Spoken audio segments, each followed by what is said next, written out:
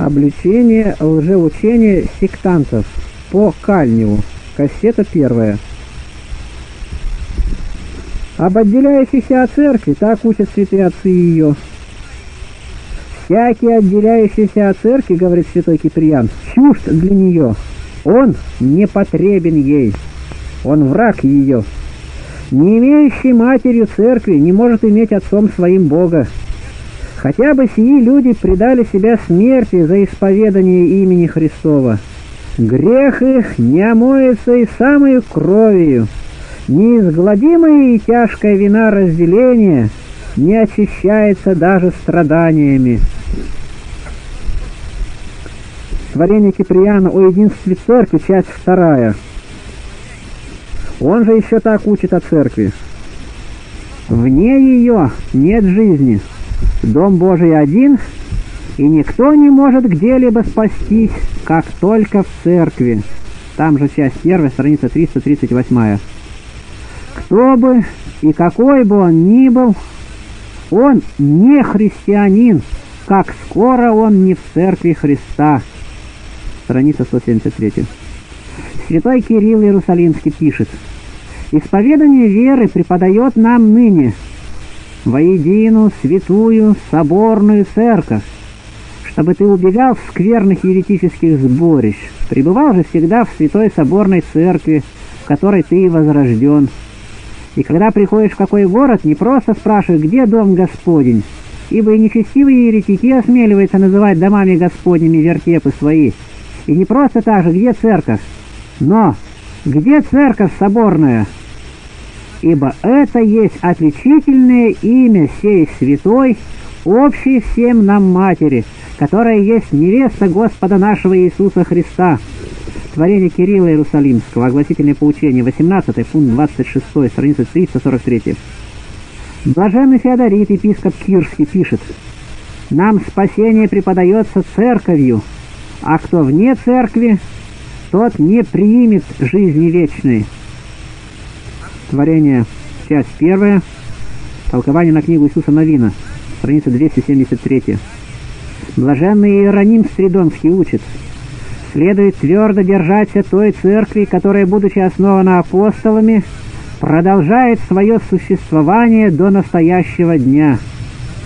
Услышишь где-нибудь о таких, которые, считая себя Христовыми, приняли имя не от Господа Иисуса Христа, а от кого-либо другого, как, например, о маркианитах, валентинианах, монтенцах или компитах, знай, что то не церковь Христова, а синагога Антихриста. Третье. Небольшая вставка. Все сегодняшние секты, которые называются как бы не именем человеческим, при самом начале назывались именами человеческими, именами своих основателей. Баптисты назывались Пашковскими, пашковцами, редстоковцами. Адвентисты всем были известны от основателя своего Миллера, миллериты, пятидесятники, как воронаевцы, так ныне от Лютера лютеранцы. Всяк, отделяющийся от общения с церковью, учит блаженный Августин, хотя бы жизнь его была достойна похвалы, Зато одно беззаконие, что отвергся от единения со Христом, не будет иметь жизни, но гнев Божий пребывает на нем. Письмо 152. Православный христианин, возблагодари Бога за то, что ты имеешь великое счастье принадлежать к основанной самим Христом единой истинной церкви, церкви святой, преподающий тебе спасительные учения и омывающие грехи твои во святых ее таинствах. Возблагодари Бога и за то, что Он удостоил тебя быть при жизни и после смерти членом соборной церкви, быть в общении любви и молитвы со тьмами ангелов и святых, имена которых записаны в книге Агнца на небесах. Будь во всем послушан апостольской церкви, помни, что только в ней одной сохраняется от времен апостолов и истинное учение и благодать Святого Духа, ведущая тебя к вечной жизни в обителях Отца Небесного. Об истинном священстве Церкви Христовой. Он поставил одних апостолами, других пророками, иных евангелистами, иных пастырями и учителями к совершению святых на дело служения для созидания тела Христова, доколе все придем в единство веры. Ефесянам 4, 11. Церковь Христова есть хранительница истинной веры, христианского благочестия и святых таинств, в которых подается верующим благодать Святого Духа для получения вечной жизни. Для научения людей вере и благочестию, особенно для совершения святых таинств и богослужения, и поставлены Христом Его Святой Церкви особые люди, пастыри ее. Таким образом, церковь состоит из мирян и пастырей, поставляемых на это высокое и святое служение через таинство священства. Что же такое таинство священства? Таинство священства – это такое священное действие, в котором через епископское молитвенное руковозложение, преемственно идущее от святых апостолов, подается избранному лицу дар Божий, 2 Тимофея 1.6, то есть благодать Святого Духа, Деяние 20.28, дающая ему право и власть учить мирян истинам веры, управлять мирянами в делах веры и священно действовать, то есть совершать для них богослужение и преподавать им спасительные таинства. Новозаветное священство имеет три степени – епископы, пресвитеры и диаконы. Епископ, как преемник всей полноты апостольской власти, совершает все таинства и рукополагает пресвитеров и диаконов. Пресвитер совершает все таинства, кроме рукоповозложения – а диакон только служит пресвитеру при совершении им таинств и богослужения. Истинное и законное священство должно вести свое начало от самих апостолов. Священное рукоположение – не простой знак избрания или полномочий на служение, но через него подается дар Божий. 2 Тимофея 1.6 подается сам Дух Святой, дающий рукоположенному божественное право пасти церковь Господа и Бога, который он приобрел себе кровью своею. Деяние 20.28. Где нет законного рукоположенного через преемственно идущее от апостолов епископское руковозложение священства, там нет и церкви Христовой, там нет домостроителей тайн Божиих. 1 Коринфянам 4.1. Нет благодати, а следовательно и спасение. Нет, не нужно в церкви никакого священства, ибо мы имеем не такого первосвященника, который не может сострадать нам в немощах наших, но который, подобно нам, искушен во всем, кроме греха. Евреям 4.14. 7. 28, 26. Не нужно нам никаких пастырей ходатаев за нас пред Богом, ибо мы имеем ходатая пред Отцом Иисуса Христа, праведника. 1 Иоанна 2.1 и еще 1 Тимофея 2.5, Евреям 7, 24, 25, 9, 15, 12, 24 и Римлянам 8.34. То верно, что един ходатай и посредник между Богом и всем человечеством, всем миром, это есть Христос, Сын Божий, предавший себя для искупления всех. 1 Тимофея 2.6. Ибо нет другого имени под небом, данного человеком, которым надлежало бы нам спастись. Деяние 4.12. Почему он ходатайствует за нас, одесную Бога на небе? Римлянам 8.34. На небе же и сам Дух ходатайствует за нас, воздыханиями неизреченными. Римлянам 8.26. А на земле ходатайствуют перед Богом друг за друга люди, ибо всякая молитва к Богу одного христианина за другого и есть ходатайство. И апостол Яков говорит, молитесь друг за друга, чтобы исцелиться. Много может усиленная молитва праведного. Яков 5.16. Апостол Павел просил христиан молиться за него Богу, чтобы избавиться ему от неверующих в Иудее. Римлянам 15.30 и, получив избавление от близкой смерти, приписывает это молитвенному ходатайству за него пред Богом христиан, когда пишет, что он надеется, что Господь еще его избавит при содействии и вашей молитвы за нас, дабы задарованное нам по ходатайству многих, многие возблагодарили за нас. 2 Коринфянам 1.8, 1 Фессалоникийцам 5.25, 2 Фессалоникийцам 3.1, Евреям 13.18. Так, Христос — это единый ходатай за весь мир, а все люди перед Ним ходатай друг за друга. Тем более пастыри церкви могут и должны быть ходатаями перед Христом, заверенных их пасторству людей. Но ведь на земле все христиане равны. Значит, и все священники. Ибо сказано, вы род избранный, царственное священство, народ святый, люди, взятые в удел, дабы возвещать совершенство призвавшего вас из тьмы в чудный свой свет. 1 Петра 2.9 и Откровение 1.6 и 5.10. И в Ветхом Завете весь Израиль назывался царством священников. Вы будете у меня царством священников и народом святым. Исход 19.6. Однако не каждый израильтянин был в буквальном смысле священником, а избирались на священническое служение из среды сынов Израиля немногие лица, взятые из одного лишь колена Левиина. Исход 28 и 29 главы. Если же к священнослужению приступал кто-либо посторонний, не посвященный на это служение, то предавался смерти. Числа 3, 10, 16 и 18.7. Так и в Новом Завете никто сам собой не приемлет всей чести священства, но призываемый Богом, как и Аарон. Евреям 5.4. Если священников не нужно в церкви, потому что христиане называются священниками, то не нужно и царей, ибо христиане именуются в Писании царями, Откровение 1.6.5.10. А между тем в той же второй главе первого послания апостол Петр учит «Бога бойтесь, царя чтите» 2.17. А в пятой главе пишет христианам, «Пастырей ваших умоляю я, сопастырь и свидетель страданий Христовых» 5.1. И апостол Павел учит, что сам Христос поставил иных пастырями и учителями Ефесянам 4.11. Если каждый сектант есть священник и служитель алтаря, то где же алтарь его? Если он царь на земле, то где же принадлежит ему это царство? Очевидно, христиане называются царями и священниками не в прямом буквальном смысле, а в духовном, как люди, освященные в святых таинствах церкви, как люди, избранные в удел Божий, царствующие над своими грехами и приносящие души и тела свои в жертву живую, святую, благоугодную Богу для разумного служения. Римлянам 12.1.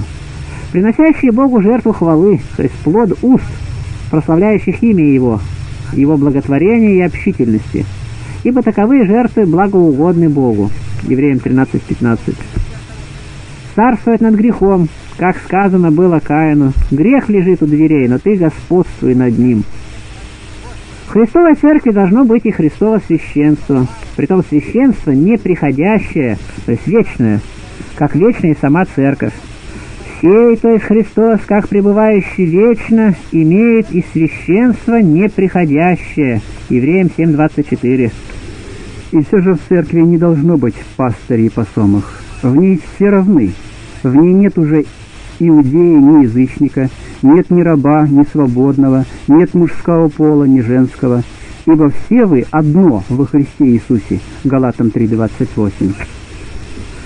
Здесь говорится не о равенстве в церкви членов по их по ее положению, а о безразличии в деле спасения национальности, народности, происхождения и пола.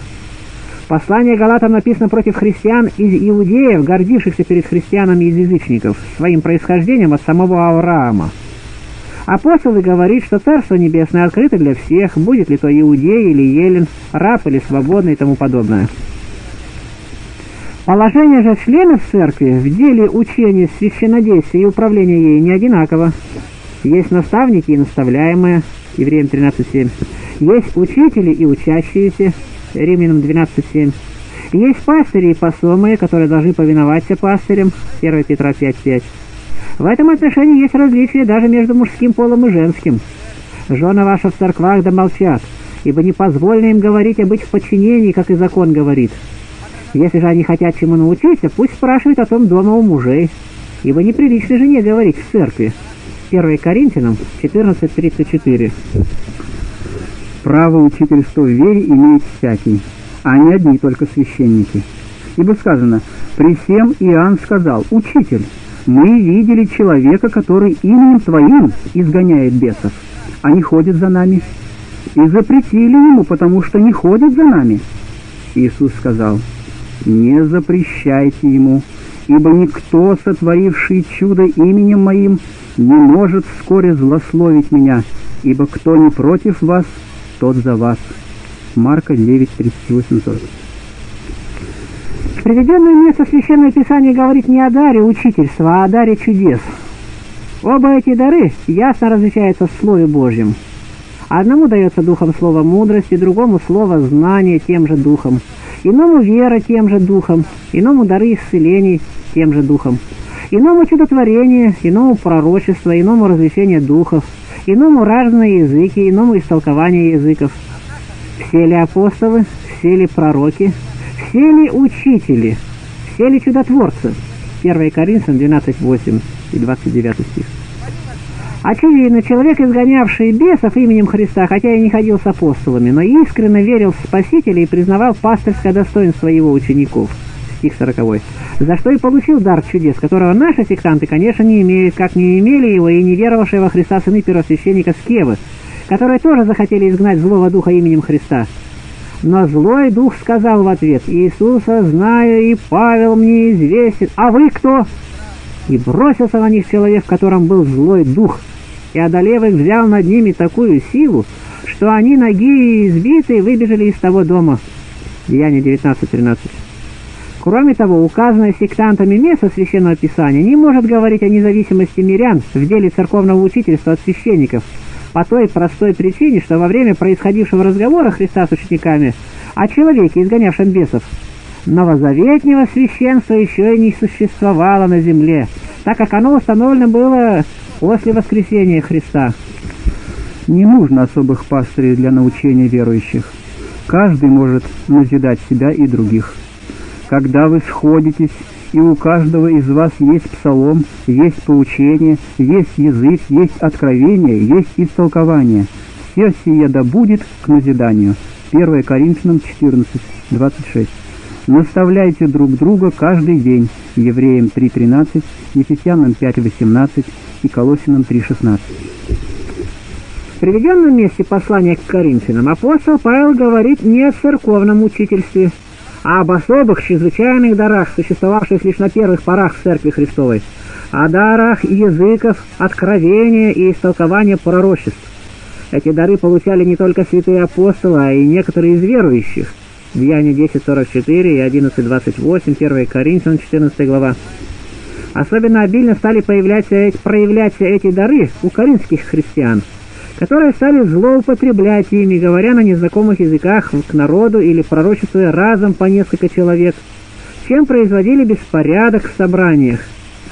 Апостолы говорит, чтобы имеющие чрезвычайные дары пользовались ими к общему назиданию, стих 26, а не к расстройству слушающих.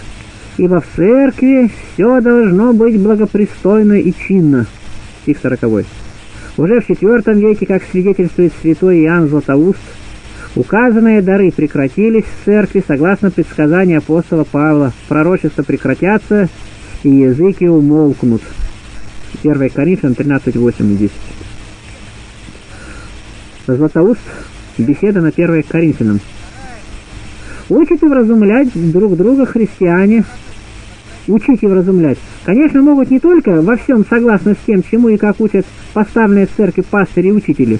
Ефесянам 4.11 вот почему святые апостолы и учат о нарочито поставленных в церкви учителях веры, как призывать того, в кого не уверовали, как веровать в того, о ком не слыхали, как слышать без проповедующего, и как проповедовать, если не будут посланы. Римлянам 10.13. Иных Бог поставил в церкви, во-первых, апостолами, во-вторых, пророками, в-третьих, учителями. Все ли апостолы, все ли пророки – все ли учители?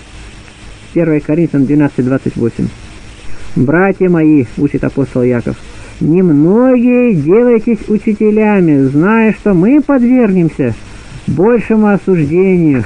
Иаков 3.1 Таким образом, право учительства в церкви принадлежит не всем ее членам, а избранным, на то поставленным и посланным лицам – и без епископского рукоположения законным пресвитером может быть тот, кого избрал народ и рукоположила община, как это было при избрании апостола Матфея.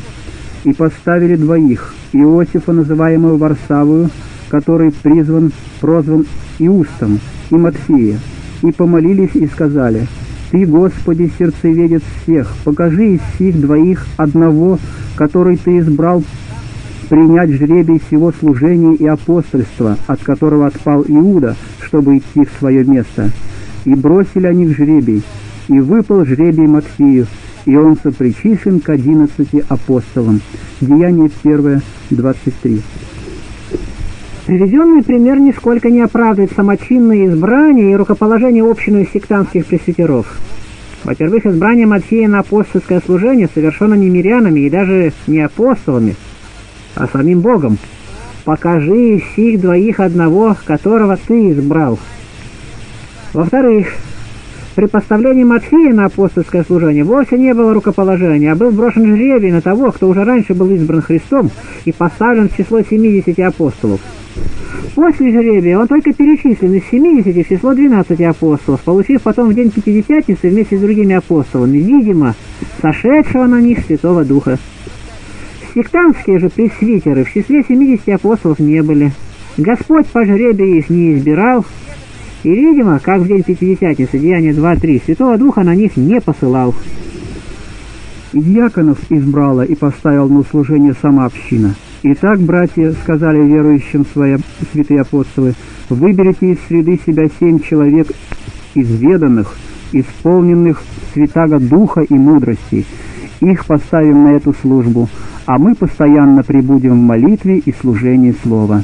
И угодно было это предложение всему собранию и избрали Стефана, мужа исполненного верой Духа Святаго, и Филиппа, и Прохора, и Никанора, и Тимона, и Пармена, и Николая Антиохийца, обращенного из язычников. Их поставили пред апостолами, и сии, помолившись, возложили на них руки. Деяние 6.3. Относительно избрания первых диаконов, нужно, во-первых, заметить, что община избрала их не по своему желанию и почину, а по желанию и предложению апостолов. Второй стих. Если бы последние не пожелали и не предложили общине избрать диаконов, то никто их и не избрал бы. Во-вторых, самое рукоположение избранных во диакона совершено было не кем-либо из общины избравших их христиан, а самими апостолами, ибо никто из мирян не имел права даже во диакона рукополагать. «Изберите их, поставим», то есть мы, апостолы, на эту службу. Их поставили пред апостолами, и сии, помолившись, возложили на них руки. Деяние 6.6. Что же касается высшей степени священства, епископов и пресвитеров, то мы нигде в Писании не видим, чтобы их избирала община, а видим, что их избирали и рукополагали сами апостолы. Деяние 14.23, 1 Тимофея 4.14, 2 Тимофея 1.6. Передавшие потом право избирать и рукополагать пресвитеров епископам, как своим преемникам. 1 Тимофея 5.22, Тит 1.5. Таким образом, самовольное избрание рукоположения сектантами их лжедиаконов и лжепресвитеров не оправдывается Словом Божиим, а осуждается. Но ведь епископ должен быть непорочен. Одной жены муж трезв, целомудрен, благочинен, страннолюбив, учителен, хорошо управляющий домом своим, детей, содержащий в послушании со всякой честностью, ибо кто не умеет управлять собственным домом, тот будет ли пищись от Церкви Божией? 1 Тимофея 3, 1, Тита 1, 6. Епископы должны быть женатые, а ваши архиереи – монахи. Слова одной жены муж, конечно, говорят не о том, что у епископа должна быть одна только жена, ибо многоженство вообще в христианстве не допускается. Не означают эти слова и того, что епископ непременно должен быть женатым, ибо и Христос, Матфея 19.12, и сам апостол Павел ставят девство выше брака. Апостол Павел не был женат и говорил, «Желаю, чтобы все люди были, как и я». Но каждый имеет свое дарование от Бога, один так, другой иначе. Безбрачным же и вдовам, говорю, хорошо им оставаться, как я. 1 Коринфянам 7.7. Будучи сам не женатый, ставивший девство выше брака, стих 37. Апостол Павел не мог требовать от епископов, чтобы они непременно были женаты и имели детей. Очевидно, что слова «епископ должен быть одной жены муж» означает то, что епископ может быть только один раз женат, и по смерти жены не должен вступать во второй брак, как и то, что вторичный женатый не может быть епископом. Об этом так говорит Тартулиан. У христиан вменена точнейшая и строжайшая обязанность священникам жениться один только раз. Так что, как мне известно, кто имел двух жен, тот лишался священства. Не можно избрать священники никакого другого, как такого мирянина, который должен быть женат только один раз. Творение Тартуляна, часть вторая. То есть таких, который был втором бы браке, о целомудрии. Мы не признаем ваших пастырей, ибо истинный пастырь должен быть непорочен, как Божий домостроитель, не дерзок, не гневлив, не пьяница, не убийца, не корыстолюбив, но странно любив, любящий добро, целомудрен, справедлив, благочестив, воздержан, держащийся истинного слова, согласного с учением, чтобы он был силен и наставлять в здравом учении, и противящихся обличать. Тита 1.7 и 1 Тимофея 3.3. А ваши посты подвержены всяким порокам. Несправедливо на основании отдельных случаев огульно приписывать порочность целому сословию людей. Ведь пастыри не с неба нам посылаются, а избираются из подобных нам людей, облеченных плотью, а потому и подверженных грехам. Один Бог без греха. Откровение 15.4, Евреям 4.15. В приведенном месте из послания апостола Павла к Титу изображен идеал, образец пастыря. Но вполне обладать всеми указанными качествами ни один человек не может. Если не в одном, то в другом он будет виновен. Сказано ведь и так – «Будьте совершенны, как совершен Отец ваш Небесный» Матфея 5.48. Или «По примеру призвавшего вас святого, и сами будьте святы во всех поступках» 1 Петра 1.15. Но кто же из людей может сказать о себе, что он совершен, как Отец Небесный, и свят во всех поступках? Никто, разве только человек самообольщенный. 1 Иоанна 1.8. Во всех людях, следовательно, и в пастырях, мы можем найти тот или иной недостаток. Однако в делах веры мы должны повиноваться и худым пастырям, ибо они носят благодать священства. В глиняных сосудах, что преизбыточная сила была приписываемая Богу, а не им. 2 Коринфянам 4.7, 3.5. 1 Коринфянам 2.5. Ибо сила Божия совершается и в немощи. 2 Коринфянам 12.9. Иуда был не только предатель, а и вор. Иоанна 12.6. Сам Христос назвал его сыном погибели, Иоанна 17.12, даже дьяволом, Иоанна 6.70. Однако и он был сопричислен к апостолам и получил жребий служения сего, Деяния 1.7.25. Как и другие апостолы, Иуда получил право учить, врачевать болезни, совершать великие чудеса, Матфея 10.1, 6.8. И ему, как и другим апостолам, сказал Христос, «А если кто не примет вас, Иуда, очевидно, и послушать слов ваших, и слов Иуды, конечно, то, выходя из дома или города того, отрясите прах от ног своих. Истинно говорю вам, отраднее будет в земле Содомская и Гоморская в день суда, нежели городу тому». Стих 14-15, Иоанна 13-20. Книжники и фарисеи не только противились учению Христа, но преследовали и искали убить его. Но он велел своим ученикам не поступать по делам их, в то же время сказал, «Все, что они велят вам соблюдать, соблюдайте и делайте». Матфея 23.3. Первосвященник Каяфа не верил в Спасителя и предал его на смерть. А однако не лишен был дара Божия, в силу которого предсказал, что Христос умрет за людей. Сие же, замечает евангелист, он сказал не от себя, но, будучи на тот год первосвященником, предсказал, что Иисус умрет за народ. Иоанн 11.50. Когда первосвященник Анания приказал бить апостола Павла, он обвинил его в несправедливости и назвал стеною подбеленную. Предстоящие же сказали, «Первосвященника Божия поносишь». Павел сказал, «Я не знал, братья, что он первосвященник, ибо написано, начальствующего в народе твоем не злословь». Деяние 23.5, исход 22.28. Из представленных примеров ясно видно, что в делах веры мы должны повиноваться и недостойным пастырям, даже таким, как Анна и Каиафа, даже таким, как Иуда, если только они законно поставлены. Ибо в каждом пастыре мы должны чтить не столько человека, сколько данный ему через рукоположение дар Божий, который может отнять у него только тот, кто дал его, то есть епископ, имеющий один право суда над пресвитером. 1 Тимофея 5.19. И все-таки мы не признаем ваших священников, ибо сам Христос обличает их за их пороки. На Моисеевом седалище сели книжники и фарисеи, и так все, что они, все, что они велят вам соблюдать, соблюдайте и делайте, по делам же их не поступайте, ибо они говорят и не делают. Связывают бремена тяжелые и неудобоносимые и возлагают на плечи людям, сами не хотят и перстом двинуть их. Матфея 23.1 Говорит, что Христос здесь обличает новозаветних священников, это значит обнаружить перед всеми свое невежество. Разве мог Христос обличать за худые дела новозаветних священников, когда во время жизни Христа на земле их еще и не было? Ибо Христово священство появилось только после воскресения Христа, точнее в день Пятидесятницы. Как можно обличать еще несуществующего на свете человека? Обличение Христа, изложенное в 23 главе Матфея, не относится не только к новозаветнему, а и ветхозаветнему священству. Ими обличаются миряне, книжники, талмудисты, фарисеи и еретики – Деяние 15.5.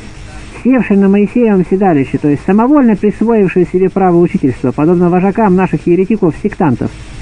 А учить народ вере священники не только имели право, но и обязаны были. Малахия 2.7, Иезекииля 44.23 и другие. Все же дела свои делают с тем, чтобы видели их люди, расширяют хранилища свои и увеличивают воскрили одежд своих стих 5. То есть расширяют карманы для денег и для роскоши носят широкие рукава. Под хранилищами, разумеется, кожаные коробочки или мешочки, внутри которых находятся кожаные же листки с написанными на них словами закона Моисеева. Первые теперь во время молитвы евреи надевают на лоб, а вторые наматывают на левую руку, согласно ветхому закону. «И да будут слова сии, которые я заповедую тебе сегодня в сердце твоем и в душе твоей, и навяжи их в знак на руку твою, и да будут они повязкой над глазами твоими». Второзаконие 6.6, 8.11, Исход 13.9. Под воскрилиями же одежд нужно разуметь те разноцветные шнурки с кистями, которые теперь евреи носят, пришивая их обыкновенно к жилету на основании слов Моисея. «Объяви сынам Израилевым и скажи им, чтобы они делали себе кисти на краях одежд своих, в роды их, и в кисти, которые на краях, вставляли нити из голубой шерсти. И будут они в кистях у вас для того, чтобы вы, смотря на них, вспоминали все заповеди Господни и исполняли их. Числа 15.38. Фарисеи, чтобы показать народу, что они люди очень набожные, из тщеславия расширяли привязываемые на лбу и наматываемые на руку хранилище и увеличили длину пришиваемых к краям одежд воскрилий за что и были обличаемы Христом. Сектантам нужно помнить, что и сам Христос носил длинную одежду, называвшуюся хитон. Иоанна 19.23. Смотри, исход 28.4. Сказано еще, также любят предвозлежание на пиршествах и председания в синагогах, и приветствие в народных собраниях, чтобы люди звали их «Учитель, Учитель», стих 6 и 7.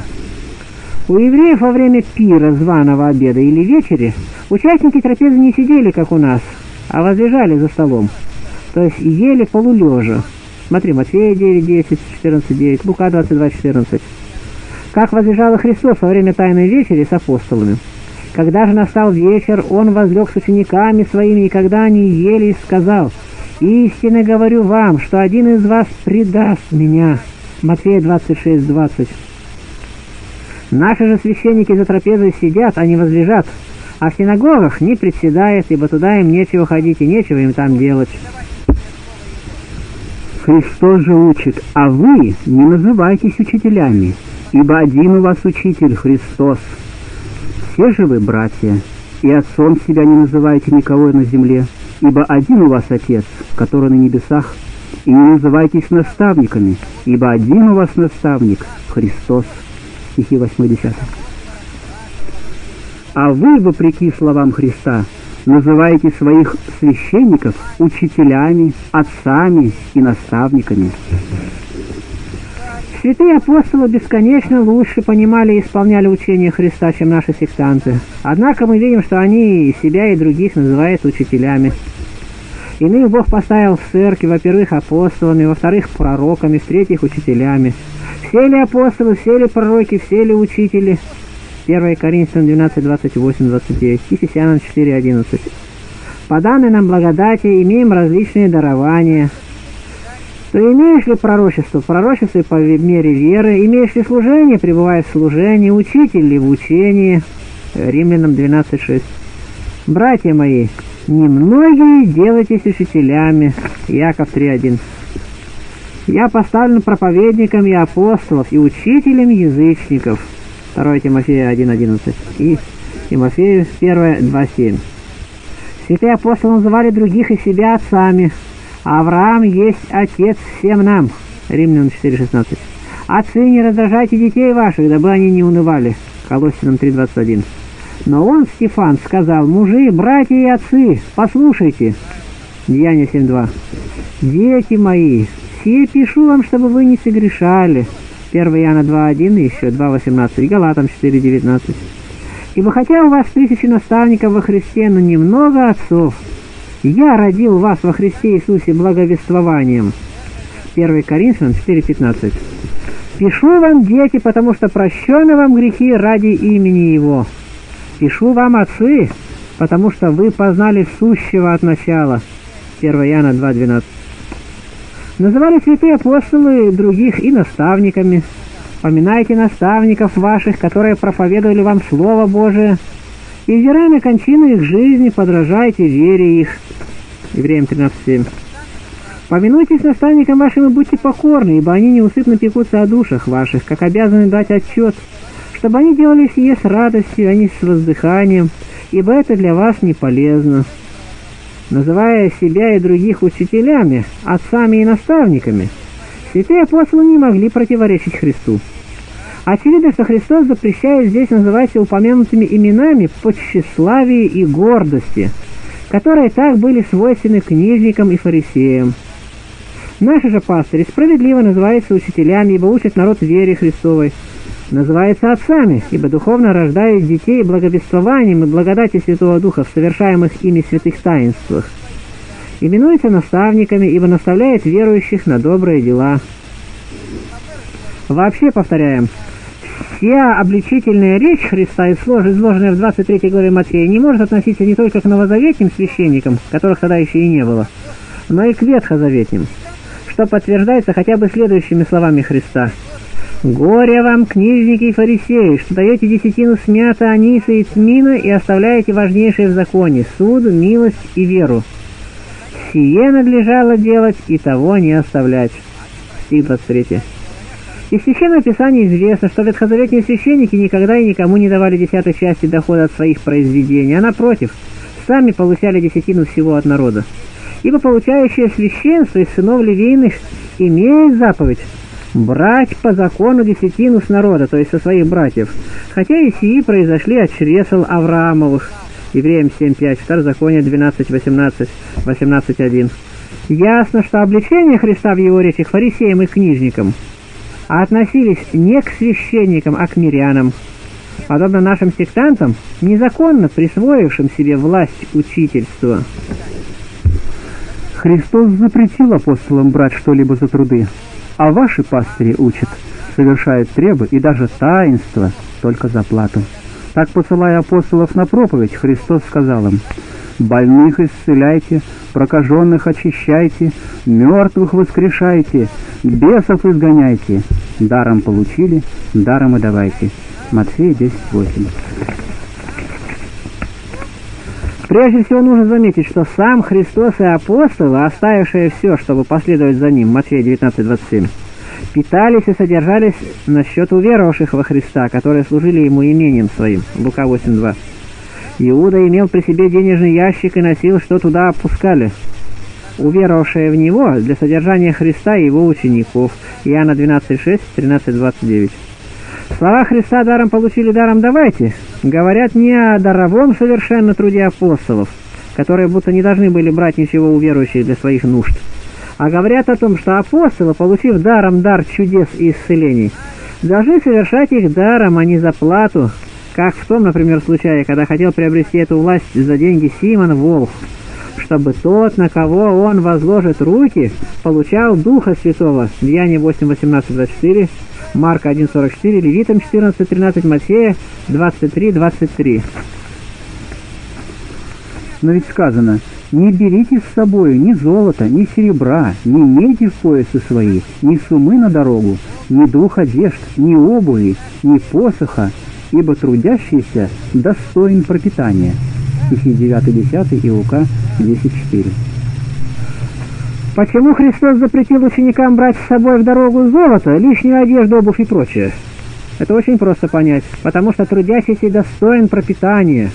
Поэтому Спаситель говорит далее апостолам, «В доме же том, куда они придут с проповедью, оставайтесь, ешьте и пейте, что у них есть, ибо трудящийся достоин награды за труд свой». Лука 10.7 и 1 Тимофея 5.18. Таким образом, апостолы не даром трудились, а получали все необходимое от тех, кому проповедовали Евангелие. Впоследствии, перед своими страданиями, Спаситель, предсказывая апостолам великие затруднения и лишения во время будущей их проповеди, сказал им иное. «Когда я посылал вас без мешка и без сумы и без обуви, имели ли вы в чем недостаток?» Они отвечали «ни в чем». Тогда он сказал им, «Но теперь кто имеет мешок, возьми его, также и сумму, а у кого нет, продай одежду и купи меч». Лука 22, 35. Апостолы за свой труд не брали ничего, а трудились даром. Вот апостол Павел свидетельствует. «Вот в третий раз я готов идти к вам, и не буду отягощать вас, ибо я ищу не вашего, а вас». 2 Коринфянам 12, 14. И далее. Мы ни у кого не ели хлеба даром, но занимались трудом и работаю ночь и день, чтобы не обременить кого из вас. 2 Фессалоникийцам 3.8 и 1 Фессалоникийцам 2.9. Нет никакого сомнения, что какие-нибудь особые причины, например, бедность или нарекания фессалоникийцев и коринфян, побудили апостола Павла ничем не пользоваться от них для своих нужд, дабы не поставить какой-либо преграды благовествования Христову среди них – 1 Коринфянам 9.12. Но проповедуя в других церквах, он не только жил на их средства, но получал от них во время, например, проповеди фессалоникийцев и коринфян все необходимое даже с излишком. «Я весьма обрадовался в Господе, что вы уже вновь начали заботиться обо мне. Вы знаете, филиппийцы, что в начале благовествования, когда я вышел из Македонии, ни одна церковь не оказала мне участия подаянием и принятием, кроме вас». Вы их Фессалонику и раз и два присылали мне на нужды. Я получил все и избыточествую. Филиппийцам 4.10. А Коринфянам апостол Павел пишет, «Другим церквам я причинял издержки, получая от них содержание для служения вам. И, будучи у вас, хотя терпел недостаток, никому не докучал, ибо недостаток мой восполняли братья, пришедшие из Македонии, 2 Коринфянам 11.8. Но ведь и сами апостолы запретили пастырям брать за труды от верующих. «Пасите Божие стадо, какое у вас, надзирая за ним непринужденно, но охотно и богоугодно, не для гнусной корысти, но из усердия». 1 Петра 5.2. Здесь вовсе нет запрещения пастырям брать вознаграждение за труды свои от посомых, а запрещается только гнусная корость, то есть вымогательство из-за любостяжания. Порог, осуждаемый Словом Божиим во всяком христианине, а не только в пастыре. Титу 1.11, 1 Фессалоникийцам 4.6. Ваши священники носят длинную одежду, а Христос предостерегал учеников своих. Берегитесь книжников, любящих ходить в длинных одеждах. Марка 12.38. Если бы здесь обличали священники за ношение длинных одежд, то так было бы и сказано, берегите священников, ходящих в длинных одеждах. А то речь идет о книжниках и еретиках-фарисеях, носивших из тщеславия длинные одежды. Всякому известно, что наши пастыри носят неудобные для них длинные одежды не по тщеславию, а потому что такая для них установлена форма в России. За границей русские священники носят и короткую одежду. И длинную одежду носят и многие великороссы, казахи, а зимой почти все русские люди, в том числе и сектанты. Неужели поэтому их всех нужно беречься? Дело не в одежде человека, а в душе его. Заметим, наконец, что длинную одежду носили пророки, какова, например, была Мила Илия, а потом Елисея, 4 царство 2.8. Сам Христос носил длинную одежду, так называемый хитон, и из-за обладания которым воины подняли спор при кресте, Иоанна 19.23.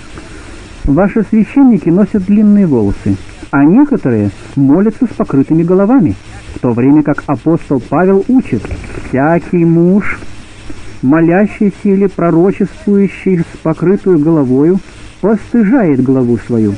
Итак, муж не должен покрывать голову, потому что он есть образ и слава Божия, а жена есть слава мужа. Не сама ли природа учит вас, что если муж растит волосы, то это бесчестие для него? 1 Коринфянам 11.4, 7.14. Из внимательного чтения всей 11 главы первого послания к Коринфянам видно, что запрещение молиться с покрытой головой и носить длинные волосы относится не к пастырям церкви, а к мирянам. В Каринской церкви вошло в обычай, что женщины, как у язычников, при их молениях вначале являются церковные собрания с открытыми головами, а мужчины с покрытыми, как у язычников и иудеев. Святой апостол, желая уничтожить языческо-иудейские обычаи, предлагает мужчинам молиться с открытыми, а женщинам с покрытыми головами. О священниках же здесь не говорится ни слова, ибо по закону, установленному самим Богом, ветхозаветные первосвященники и священники молились в кидарах, тоже что митры, и в головных повязках, исход 28, 4, 40. Для славы и благолепия, Левитам 8, 9, 13. Пророк Захарий возложил золотой венец на голову великого иерея Иисуса, сына Иосидекова, Захария 6, 11.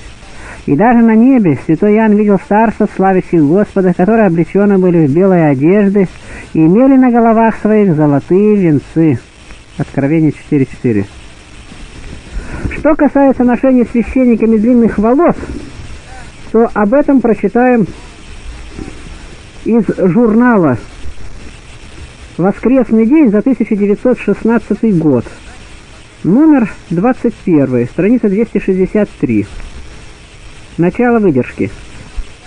Многовековая христианская практика и многочисленные письменные памятники единогласно свидетельствуют, что в древней христианской церкви существовал противоположный современному обычаю, а именно духовенство стригло волосы. Еще апостол Павел в первом послании к Коринфянам, рассуждая о том, как должны стоять женщины в храме, пишет, «Рассудите сами, прилично ли жене молиться Богу с непокрытой головой? Не сама ли природа учит, что если муж растит волосы, то это бесчестие для него, но если жена растит волосы, для нее это честь». Уже на основании этих слов апостола мы должны заключить, что в первом веке христианства все мужчины, не исключая и духовенства, должны были стричь волосы. И действительно, история вполне подтверждает это заключение. Святой Василий Великий, по свидетельству древнего историка Ульпия Римлянина, имел волосы на голове подстриженные. В знаменитом Константинопольском храме Святой Софии, построенном Юстинианом в VI веке, Святой Григорий Богослов и Дионисий Ареопагит на мозаиках изображены остриженными, а на иконах и в рукописных сочинениях в IX-XI веках святители изображали постриженными.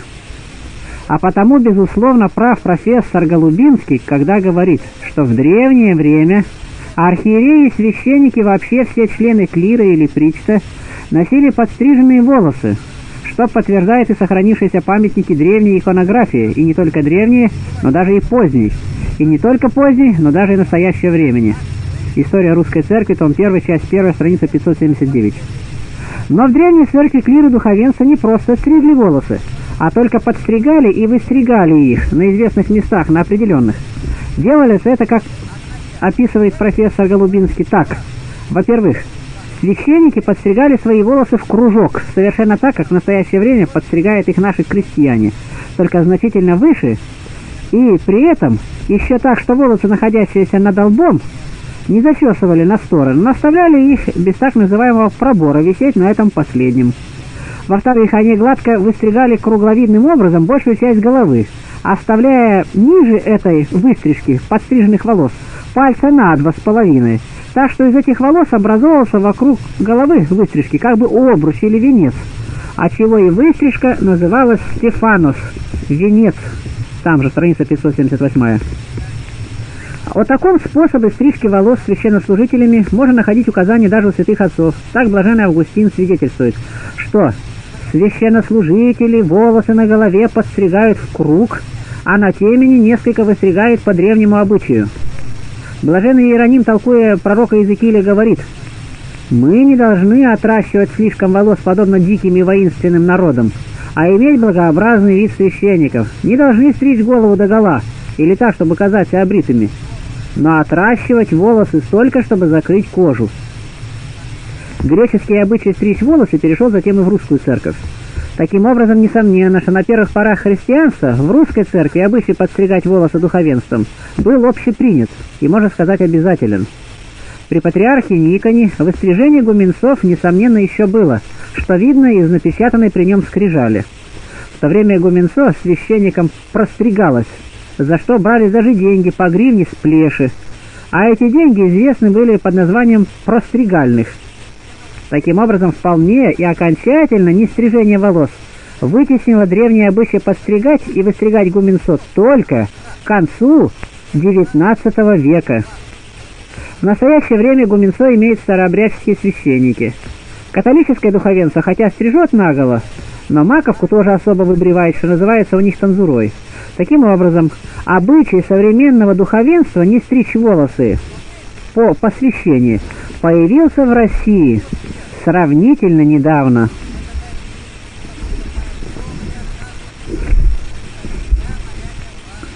Мы не признаем ваших священников, ибо они такие, которые молитвы, жертвы и служение Богу не угодны. Если бы он оставался на земле, то не был бы и священником, потому что здесь такие священники, которые по закону приносят дары, которые служат образу и тени небесного. Евреям 8.4. Нужно читать пятый стих приводимого места до конца. Тогда будет понятно, что слова «здесь такие священники» относятся не к нашим новозаветным священникам, а к ветхозаветним, которые служили и приносили дары по закону, то есть по закону Моисееву, и которые дары то есть служат образы и тени небесного, как сказано было Моисею, когда он приступал к совершению скинии. «Смотри, сделай все по образу, показанному тебе на горе» Исход 25.40. Известно, какие дары приносили ветхозаветные священники по закону Моисееву, жертвы тельцов, козлов, тому подобным. Чего наши священники не приносят Богу, ибо они служат и приносят духовную жертву тела и крови Христовых по закону Христа и апостолов. Лука 22.19, 1 Коринфянам 11.24, для прощения грехов, Матфея 26.28, и жизни вечной, Иоанна 6.51. Из Священного Писания видно, что степени священства только две – пресвитеры, которые назывались еще епископами, и диаконы. А вы придумали еще особую третью степень епископов или архиереев. Так мы читаем, «Из Милета же, послав Эфес, он, апостол Павел, призвав пресвитеров церкви, сказал им, «Внимайте себе и всему стаду, в котором Дух Святый поставил вас блюстителями, по-гречески и славянски епископами, пасти церковь Господа и Бога, который Он приобрел себе кровью Своею». Деяния 20, 17 и 28. Филиппийцам 1.1, Тимофея 3.1, 2.8. Из приведенного места книги «Деяний» видно только то, что во время апостолов епископы и пресвитеры носили одни и те же общие названия. И в наше время епископы, пресвитеры и даже диаконы носят одно название, например, священнослужитель.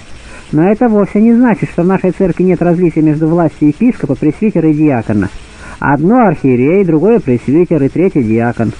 Священное Писание учит – без всякого прикословия меньший благословляется большим, старшим.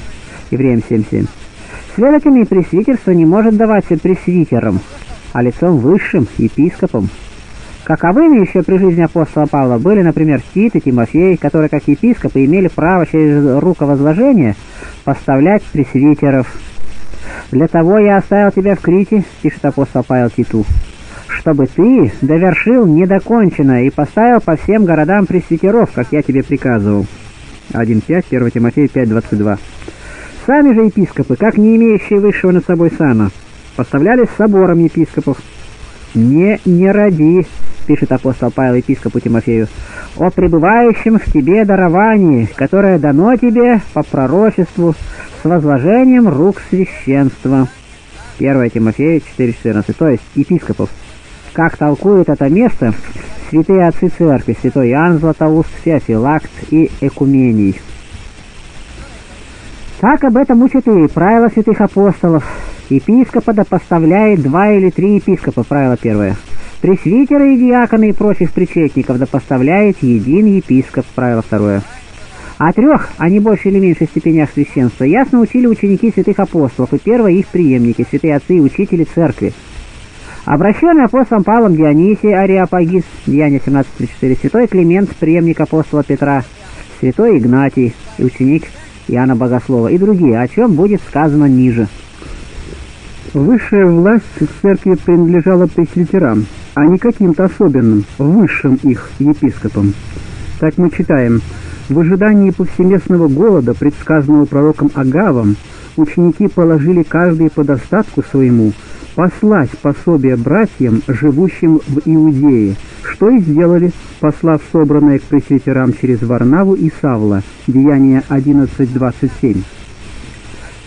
Приводимое здесь место сектантами из той же книги Деяний ясно обличает их заблуждение, ибо антиохийцы не послали собранное подаяние прямо пресвитерам, а вручили его апостолам Павлу и Варнаве, которые, как епископы, по своему усмотрению распределяли пособия между пресвитерами Иудеи. Не пресвитеры распоряжались церковным имуществом и пособиями, а те, кто устанавливали и самые сборы церковные, то есть святые апостолы. Касательно же сбора для святых, поступайте так, пишет апостол Павел Коринфянам, как я установил в церквах галатийских. 1 Коринфянам 16.1. Самый суд над пресвитерами, как и право награждать их, принадлежал тем, кто их рукополагал, то есть епископам. Обвинение на пресвитера не иначе принимая, как при двух или трех свидетелях. Достойно начальствующим пресвитерам должно оказывать сугубую честь, особенно тем, которые трудятся в слове и учении. Может ли быть Церковь Христова без священства? Нет, не может ибо Христос основал церковь со священством, а не без него. Он поставил церкви одних апостолами, других пророками, иных евангелистами, иных пастырями и учителями. Ефесянам 4.11, 1 Коринфянам 12.28. О новозаветнем священстве Церкви Христовой было предсказано еще пророком Исаией 66.18.21. Христиане без пастырей, э, что стадо без пастуха, где нет законно рукоположенного священства, там нет и церкви Христовой, нет, следовательно, и спасения. Всякий ли, кто захочет или кого изберет народ, может уже быть священником и нести его службу? Нет, никто сам собой не приемлет всей чести, но призываемый Богом, как и Аарон. Так и Христос не сам себе присвоил славу быть первосвященником, но тот, кто сказал ему – ты сын мой, я ныне родил тебя». Евреям 5.4. Как же были призваны и поставлены Аарон и все ветхозаветное священство? Так, и возьми к себе Аарона, брата твоего, и сынов его с ним, от среды сынов Израилевых, чтобы он был священником мне. Аарона и Надава, Авиуда, Илиазара и Фомара, сынов Аароновых и сделай священные одежды брату твоему для славы и благолепия, для посвящения его, чтобы он был священником мне. Вот одежды, которые они должны сделать. Наперсник, ефот, это короткая одежда, верхняя риза, хитон, это долгая нижняя одежда, стяжной, кидар, головное украшение, и пояс. Сделай сынам Ароновым хитоны, сделай им поясы и головные повязки, сделай им для славы и благолепия, и облеки в них Аарона, брата твоего, и сынов его с ним, и посвяти их, и они будут священниками мне. И сделай мира для священного помазания. Помажь Аарона и сынов его, и посвяти их, чтобы они были священниками мне. А сынам Израилевым скажи, это будет у меня мира священного помазания в роды ваши. тела прочих людей не должно помазывать им, и по составу его не делайте сами себе подобного ему, а оно святыня. Святыней должно быть и для вас.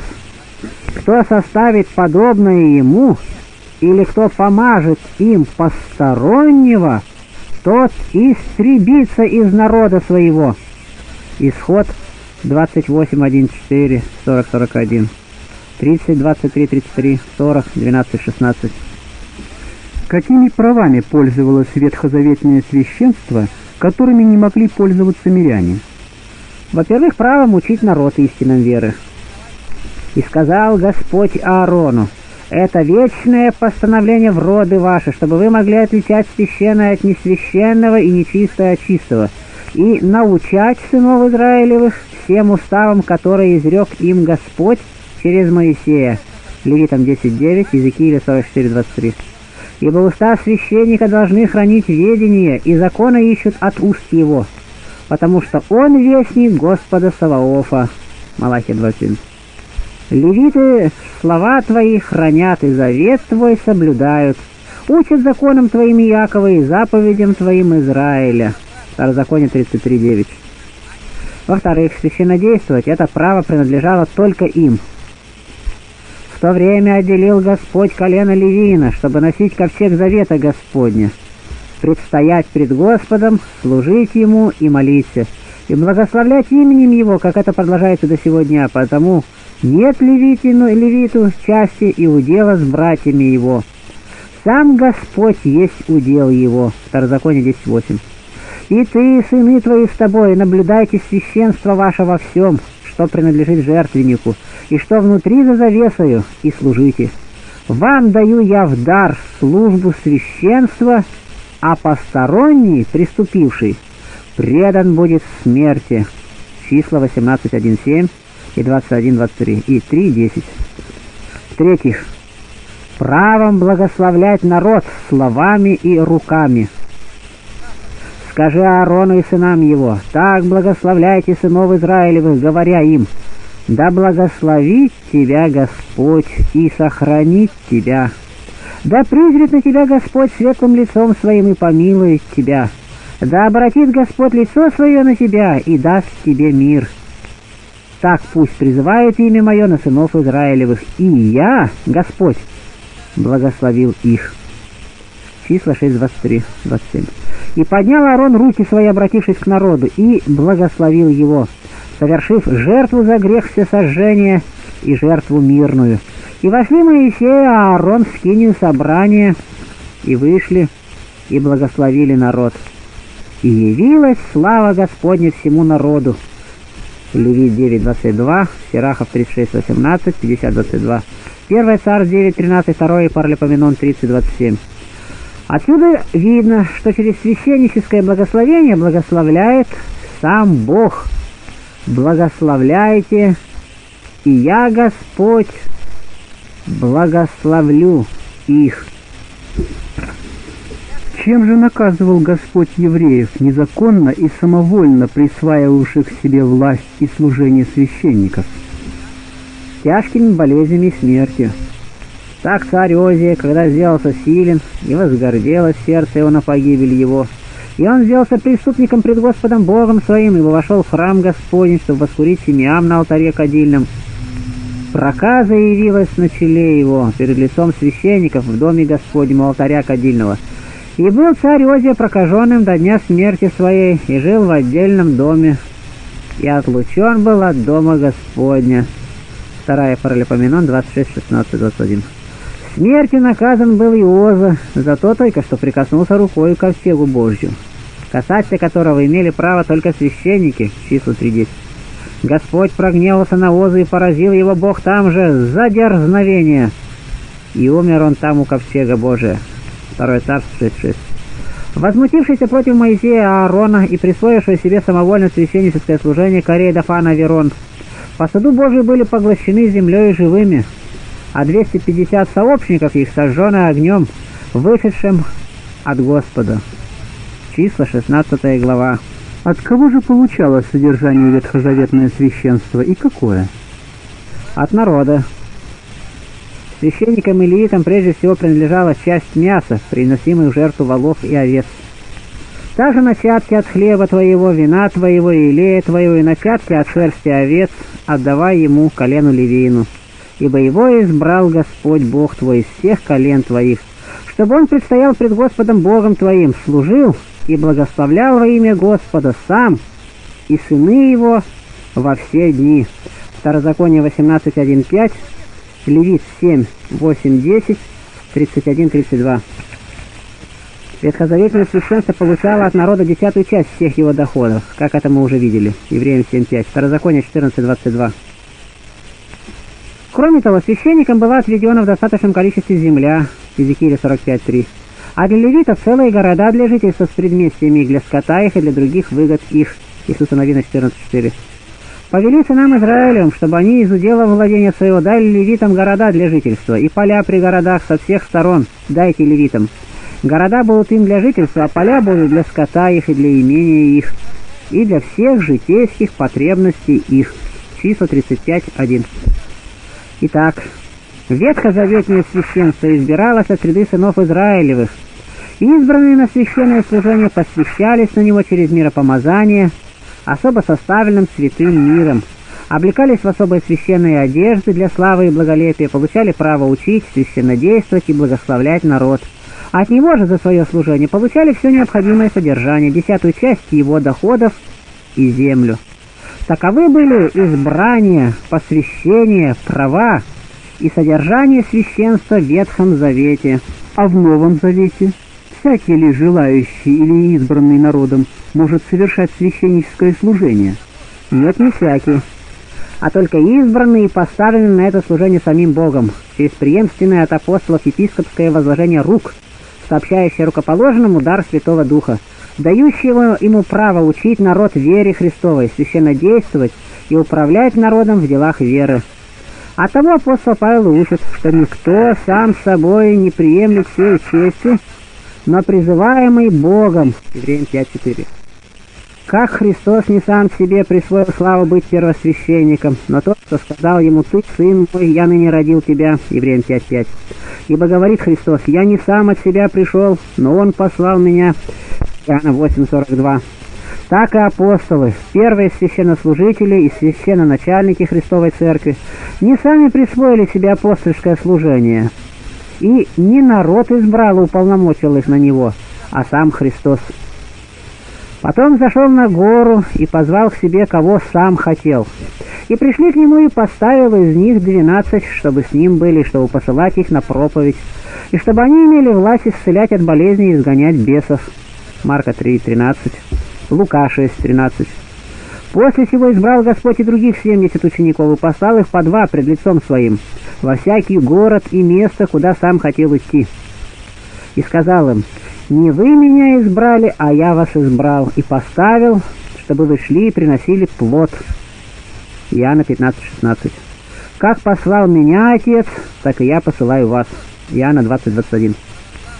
Апостол Павел говорит о своем избрании – Павел, апостол Иисуса Христа, по повелению Бога Спасителя нашего и Господа Иисуса Христа, надежды нашей. 1 Тимофея 1.1. Павел, апостол, избранный не человеками и не чрез человека, но Иисусом Христом и Богом Отцом, воскресившим его из мертвых. Галатам 1.1. Какие же Христос дал апостолам особые, только им принадлежащие права? Во-первых, право учить. Идите наипаче к погибшим овцам дома Израилева. Ходя же, проповедуйте, что приблизилось Царство Небесное. Матфея 10.6. Марка 3.13. «Идите, научите все народы, уча их соблюдать все, что я повелел вам». Матфея 28.19. Во-вторых, священно действовать, то есть совершать богослужение, особенно святые таинства, как то крещение. «Идите, научите все народы, крестя их во имя Отца и Сына и Святого Духа». Матфея 28.19 причащение, и, взяв хлеб и благодарив, преломил и подал им, говоря, «Сие есть тело мое, которое за вас предается. Сие творите в мое воспоминание». Лука 22, 19. Исповедь и отпущение грехов. Истинно говорю вам, что вы свяжете на земле, то будет связано на небе, И что разрешите на земле, то будет разрешено на небе. Матфея 18, 18. Мир вам! Как послал меня Отец, так и я посылаю вас. Сказав это, дунул и говорит им, примите Духа Святого. Кому простите грехи, тому простятся. На ком оставите, на том останутся. Иоанна 20:21. Многие же из уверовавших приходили к апостолам, исповедуя и открывая дела свои. Деяния 19:17. Рукоположение во диаконы, пресвитеры и епископы. Так, их, избранных во диаконы, поставили пред апостолами, и сии, то есть апостолы, помолившись, возложили на них руки. Деяние 6.6. Рукоположивши же им пресвитеров в каждой церкви, они, апостолы, помолились с постом и предали их Господу, в которого уверовали. Деяние 14.23. Епископу Тимофею апостол Павел пишет, «Напоминаю тебе возгревать дар Божий, который в тебе через мое рукоположение». 2 Тимофея 1.6. Святые апостолы получили право совершать вообще все таинства. Итак, каждый должен разуметь нас, как служителей Христовых и дома строителей тайн Божиих. 1 Коринфянам 4.1. В-третьих, управлять народом в делах веры. Слушающий вас меня слушает, и отвергающийся вас меня отвергается. Лука 10.16. Святые апостолы пользовались данной им властью управлять верующими, будучи всегда готовы наказать всякое непослушание. 2 Коринфянам 10.6. «Я предварял», — пишет Коринфянам апостол Павел, «и предваряю, как бы находясь у вас во второй раз, и теперь отсутствуя, пишу прежде согрешившим и всем прочим, что когда опять приду, не пощажу». Для того я пишу сие в отсутствии, чтобы в присутствии не употребить строгости по власти, данной мне Господом к созиданию, а не к разорению. 2 Коринфянам 13, 2, 10. Отлучение апостолом Павлом коринфского кровосмесника и обратное принятие его в церковь. 1 Коринфянам 5, 3, 2 Коринфянам 2, 1, 10 а также наказание смертью за вероломный обман Анании Сапфира апостолом Петром, Деяние 5.1.10, наглядно показывает власть апостолов над всеми верующими. Откуда же получали содержание апостолы и апостолы за свои труды? Мы уже видели откуда. От верующих. Лука 8.2.3, 10.7. 2 Коринфянам 11.8.9, Филиппийцам 4.10.18, Галатам 6.6, 1 Коринфянам 9.7.14.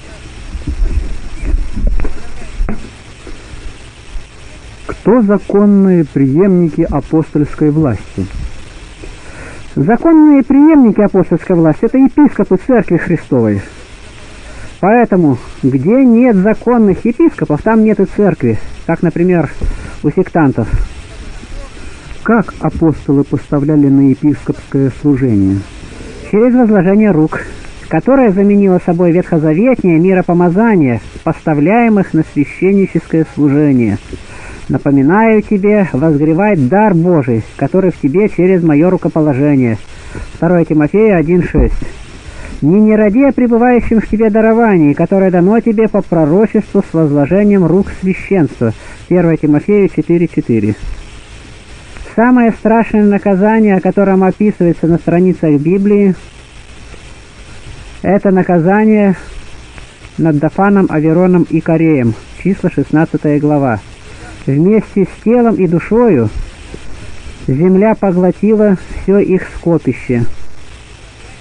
Последующие стихи этой 16 главы 4 книги Моисеевой числа показывают, что когда их последователи стали роптать на законных священнослужителей Моисея и Аарона, то Господь поразил из них сразу же больше десяти тысяч. Настолько велик и страшен грех отделения от церкви. Какое значение имеет апостольское рукоположение? В нем подается дарование или дар Божий, Через апостольское рукоположение сам Дух Святой поставляет рукополагаемого священную должность. Так, призвав пресвитеров Ефесской церкви, апостол Павел сказал им, «Внимайте себе и всему стаду, в котором Дух Святой поставил вас блюстителями, пасти церковь Господа и Бога, которую Он приобрел себе кровью Своею». Деяние 20.28.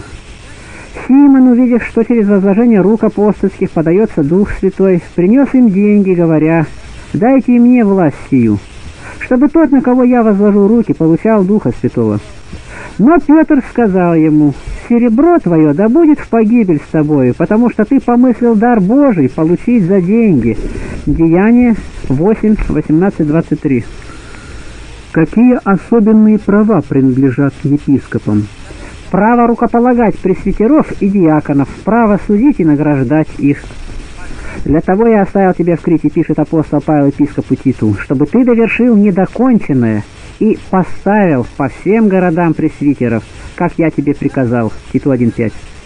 Рук, пишет апостол Павел епископу Тимофею, ни на кого не возлагай поспешно и не делайся участником чужих грехов. 1 Тимофею 5.22 потому что Ян Златоуст грозно предупреждает архиереев, епископов, что епископ будет отвечать за все, что натворят рукоположенные им. Из последнего места Священного Писания ясно видно, что не народ избирал и поставлял пресвитеров и диаконов, а епископ. Иначе при неудачном избрании пресвитера или диакона он не был бы и ответственен, не был бы участником в чужих грехах. Таким участником был бы избравший их народ. Достойно начальствующим пресвитерам должно оказывать сугубую честь, особенно тем, которые трудятся в слове и учении, ибо Писание говорит, не заграждая рта у вала молотящего, и трудящийся достоин награды своей. 1 Тимофея 5.17 Обвинение на пресвитера не иначе принимай, как при двух или трех свидетелях. 1 Тимофея 5.19 Церковный обычай первохристианской церкви был таков – что люди, зная всех, кто находился вместе с ними в одной церкви, как правило, избирали достойного, и его архиерей должен был проверить и рукоположить. Какие общие права принадлежат епископам, а через них и пресвитерам церкви? Во-первых, право учить истинам веры. Епископ должен быть держащийся истинного слова, согласного с учением чтобы он был силен и наставлять здравом учении и противящихся обличать. Титу 1.9. «Проповедуй слово, — пишет епископу Тимофея апостол Павел, — настой во время и не во время, обличая, запрещая, вещева, со всяким долготерпением и назиданием». 2 Тимофея 4.2. Достойным начальствующим пресвитерам должно оказывать сугубую честь, особенно тем, которые трудятся в слове и учении. 1 Тимофея 5.17. Во-вторых, право священно действовать, то есть совершать богослужения, особенно святые таинства, в которых подается спасающая благодать Божия. Он поставил их пастырями и учителями к совершению святых на дела служения для созидания тела Христова. Ефесянам 4.11. Болен ли кто из вас, пусть призовет пресвитера в церкви, и пусть помолятся над ним, помазав его илеем во имя Господне. И молитва веры исцелит болящего, и восставит его Господь. И если он соделал грехи, простятся ему. Яков 5.14. В-третьих, право управлять людьми в делах веры, обличая их со всякой властью. Титу 2.15. Как начальствующие, 1 Тимофея 5.17, наставники, которых они должны уважать и почитать их преимущественно с любовью за дело их. 1 Фессалоникийцам 5.12. Сие, чтобы христиане жили благочестиво. Говори, пишет апостол Павел епископу Титу, увещевай, и обличайся всякой властью, чтобы никто не пренебрегал тебя. 2.15. А епископу Тимофею пишет, проповедуй слово, настой во время и не во время, обличай, запрещай, увещевай со всяким долготерпением и назиданием. 2 Тимофея 4.2. Младшие, повинуйтесь пастырям, говорит апостол Петр. 1 Петра 5.5. Повинуйтесь, учит апостол Павел наставникам вашим, и будьте покорны, ибо они неусыпно пекутся о душах ваших, как обязанные дать отчет, чтобы они делали сие с радостью, а не воздыхая, ибо это для вас не полезно. Евреям 3.17 как рождающие людей в духовную жизнь, учащие их истинной вере и наставляющие их на истинный путь жизни, наши пастыри именуются отцами. Яна 2.1, 2.18, Галатам 4.19. 1 Коринфянам 4.15, учителями, 1 Коринфянам 12.28, Ефесянам 4.11, Римлянам 12.6, Иакова 3.1 и наставниками, 1 Коринфянам 4.15, Евреям 13.7 и 17 стих. От кого должно получать содержание новозаветное священство? От верующих членов церкви, от которых получали содержание Христоса апостолов, Лука 8.2.3, Иоанн 12.6, 13.29. Какой воин служит когда-либо на своем содержании? Кто, пася стада, не ест молока от стада? Разве не знаете, что священнодействующие питаются от святилища, что служащие жертвеннику берут долю от жертвенника? Так и Господь повелел проповедующим Евангелие жить от благовествования. 1 Коринфян 9.7, 13.14. Наставляемый словом, делись всяким добром с наставляющим. Галатам 6.6. В современной православной церкви содержание священнослужителей обеспечивается торговлей нечистыми свечами и требами. Правильно ли такое положение? Это может быть самое позорное, что встречает вновь приходящие ныне в православную церковь. Святой Николай Японский Касаткин говорит, что не было, нет и не должно быть иного способа добычи денег на содержание священнослужителей и храмов, как добровольное пожертвование. И нет даже намека на то, чтобы в церкви была торговля, а есть даже совершенно напротив.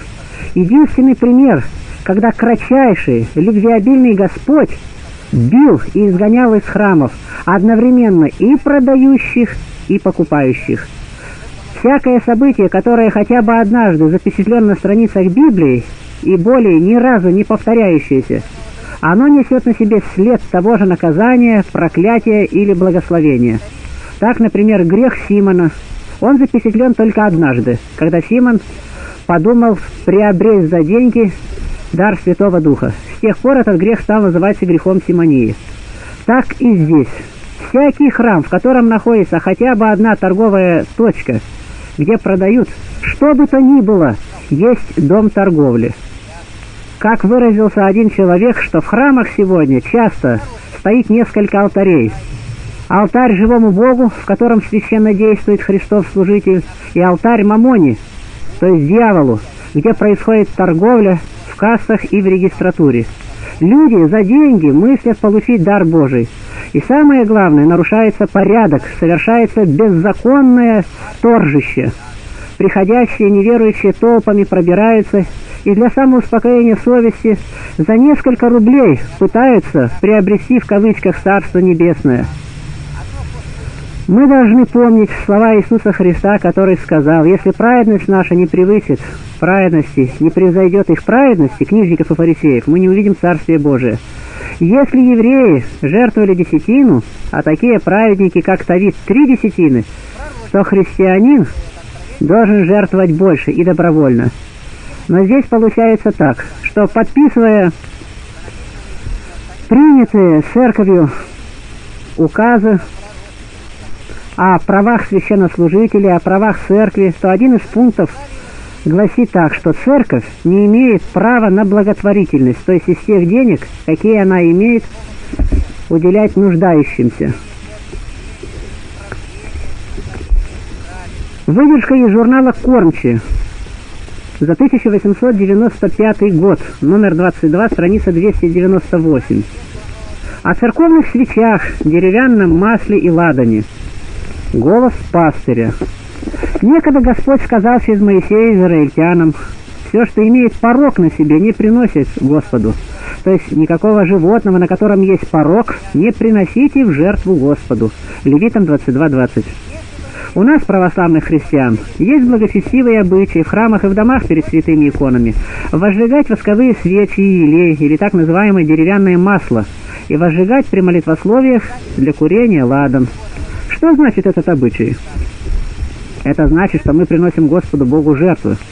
Свечи, масло и ладан были жертвами Богу и в ветхозаветнее время, и в скине, и в храме. А если так, то каковы же должны быть эти жертвы?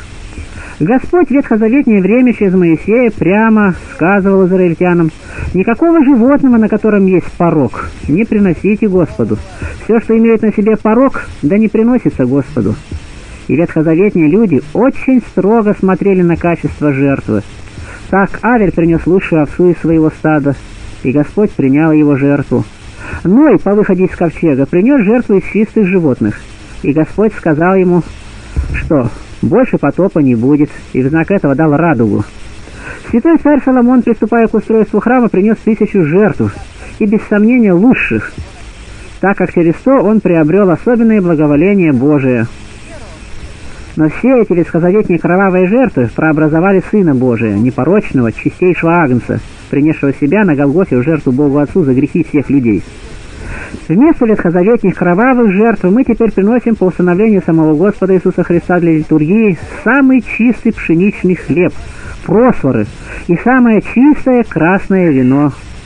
После этого не таковы ли же должны быть и прочие новозаветные бескровные жертвы Богу? Каковы свечи, масло и ладан.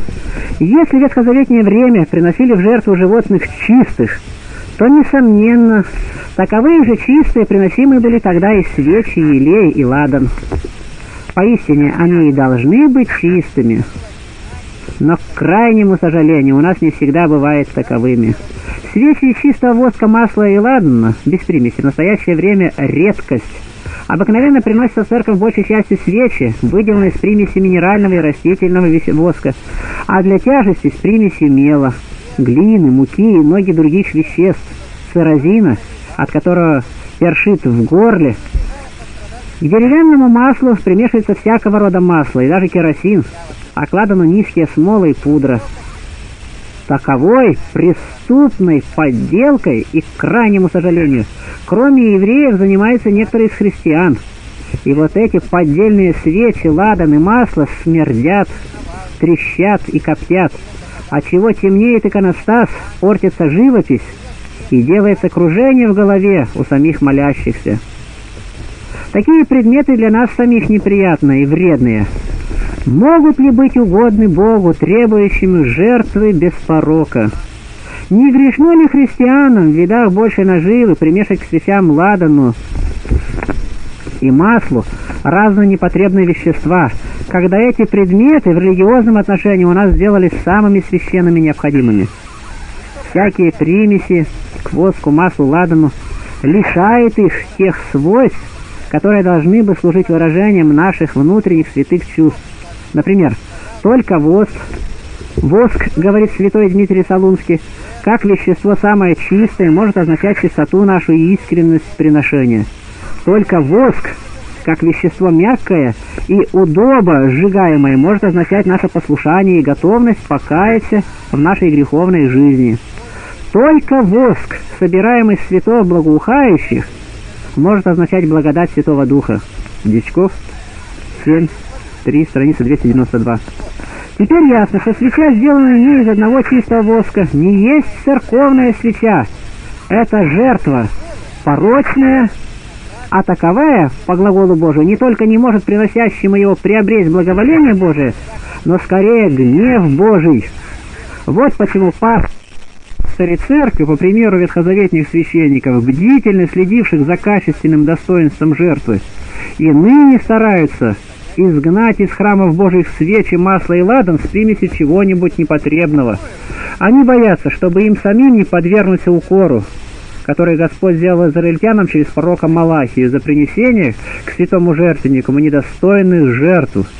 Вы приносите на жертвенник мой нечистый хлеб, и когда приносите слепое, хромое и больное, не худо ли это?» Поднеси это князю, будет ли он доволен тобой благосклонно ли примет тебя, говорит Господь Саваоф. Малахия 1.7.8. В истории о чудотворной иконе Богоматери, называемой скоро послушница, повествуется. Трапезарь Нил хаживал ночью мимо этой иконы, зажженной лучиной. И вот однажды он, проходя мимо этой иконы с таким факелом, вдруг услышал следующие слова – на будущее время не приближайся сюда с зажженной лучиной и не копти моего образа. Нил мало обратил внимания на эти слова. Я опять ходил мимо иконы с такой же лучиной. Но вдруг он снова услышал следующие слова. «Монах, недостойный этого имени, долго ли тебе так беспечно и так бесстыдно коптить мой образ?» Затем Нил тотчас же ослеп. Вот как наказан был трапезарь Нил за свою беспечность, невнимание предостерегавшему его глазу Божьей Матери и непослушание, наказан был за свою слепоту духовную, слепотой телесной.